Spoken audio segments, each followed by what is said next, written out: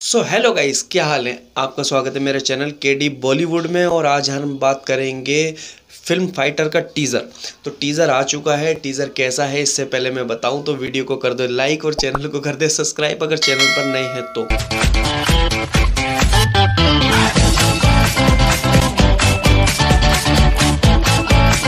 तो टीज़र के बारे में अगर हम बात करें तो टीज़र जो शुरू होता है आसमान से।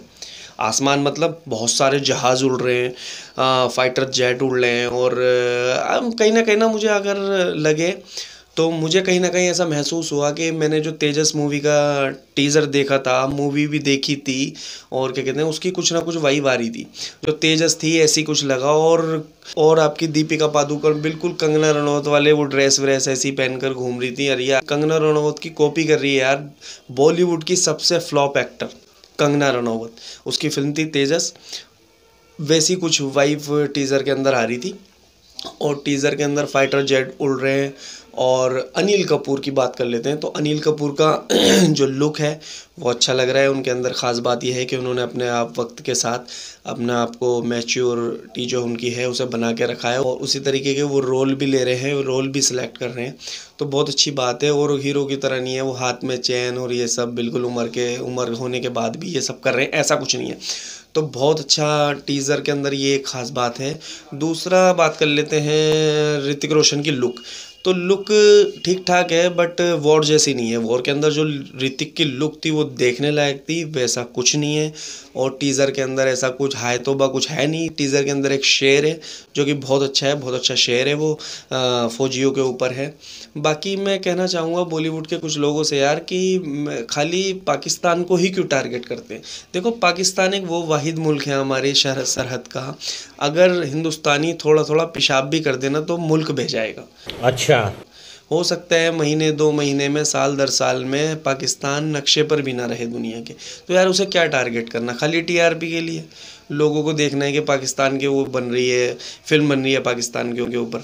यार चीन पे भी कभी बात कर ली जाए ना, लद्दाख का काफ़ी सारा एरिया चीन ने कब्ज़ा कर रखा है। थोड़े टाइम पहले लद्दाख गया था तो वहाँ के लोगों से मैंने बात करी थी तो वहाँ के लोगों ने भी ये चीज़ कही कि लद्दाख का कुछ एरिया चीन ने कब्ज़ा कर रखा है। तो मैं गुजारिश करना चाहूँगा अपने वीडियो के माध्यम से। व्यूज़ जितने आ जाते हैं कि नरेंद्र मोदी जी से अगर ये बात पहुँचे तो यार उस पर भी थोड़ी सी सुनवाई होनी चाहिए। अब बात कर लेते हैं टीज़र पर।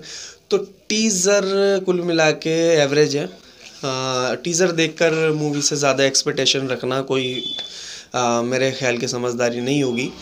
और टीज़र के अंदर कुछ ऐसा ख़ास। मुझे लगता है कि ज़्यादातर शूटिंग जम्मू में ही हुई क्योंकि उसका एक डायलॉग है जम्मू के ऊपर। आप टीज़र देखेंगे तो पता चलेगा। आ, बाकी पहाड़ी एरिया सारे ऐसे ही हैं। शूट कहीं भी करा होगा तो हमें तो पता नहीं लगेगा ही कि जम्मू है कहाँ है।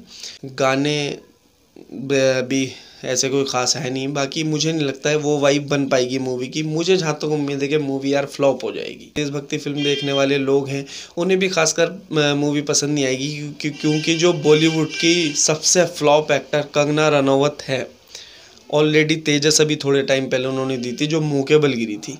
क्योंकि जो चीज़ नहीं है, उसे दिखाना, राम मंदिर बनना है, उस पर अटैक हो रहा है, जबकि ऐसा कुछ नहीं है। सबको पता है कि टीआरपी के लिए करा जा रहा है। तो पब्लिक यार इतनी बेवकूफ़ नहीं है। तो यार तो टीज़र देख के तो अभी यही मालूम पड़ रहा है। बाकी जब फ़िल्म आएगी, जब पता चलेगा कि फ़िल्म कैसी है। बाकी अगर वीडियो को पसंद आई है तो वीडियो लाइक कर दें शेयर कर दें। चैनल पर अगर नए हैं तो चैनल सब्सक्राइब कर लें। ठीक है तो टेक केयर बाय